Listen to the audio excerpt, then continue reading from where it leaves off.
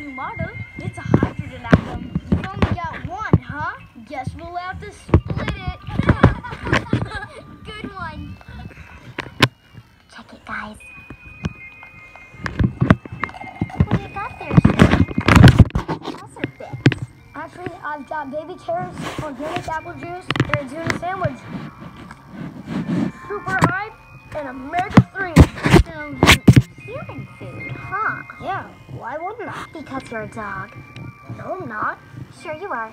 Your dad's a dog, so you're a dog too. I think you're confused. It's an adopter relationship, Carl. Okay. Here, I'll show ya.